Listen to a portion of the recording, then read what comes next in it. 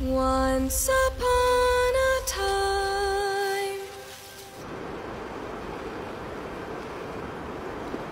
in time a prince would come.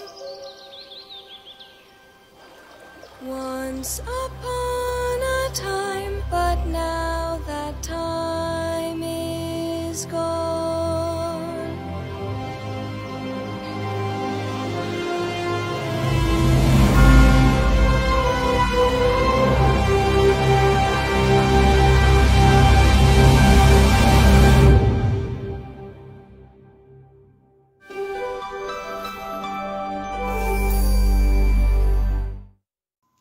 Hey folks, this is Jeff Week with JTT. For some funny reason, I feel like I'm in The Godfather. I mean, like, just when I thought I was done with Rachel Zegler, I get pulled back but you know what? This time around, I don't mind it, and I'll tell you why. Now, you know Rachel Zegler is having problems, you know, with, with the public backlash, tried to um play damage control because of the way she, you know, went with these interviews and went pretty much south. Disney scrambled, tried to um, play damage control as well. But Disney has a new problem in the name of the Daily Wire. Yes, yes, they got to make their own anti-woke version of Snow White. Translation, it's going to be done right. That's right. It could be done accurately. And this is the thing, though. Disney tried to, during the power to discredit, tried to try to make it look bad.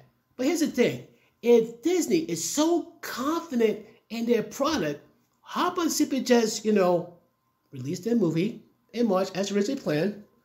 If I'm correct, this one from Daily Wire is called Snow White and the Evil Queen, supposed to be like later on this summer. You know what I say to that? If I'm a betting man, I say people will pass up the one in March, the woke version of Snow White, and wait till the summertime to see the accurate one coming this summer. If I'm correct, the actress who plays um this anti woke version Snow, I think is Brett um Cooper. I think I gotta double check that. Yeah, basically they played it accurately.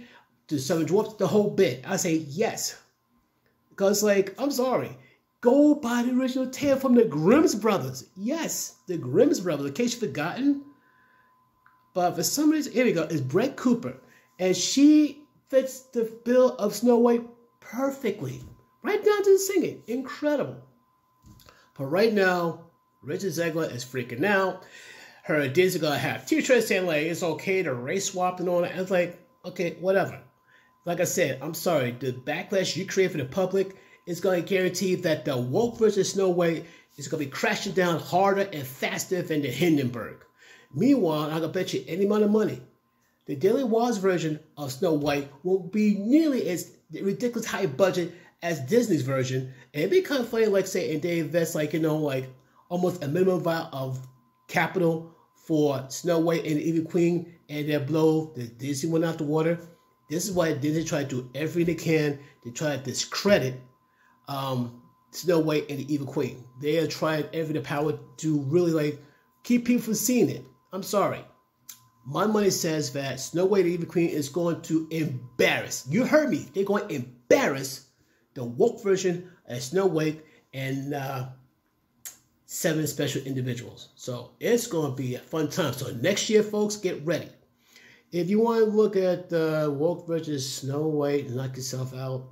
But other than that, save your money, save it during the summertime, and watch Snow White and the Evil Queen. The accurate anti-woke version. I said what I said, folks. And Miss Rachel Zegler, get a grip, get a life. Peace.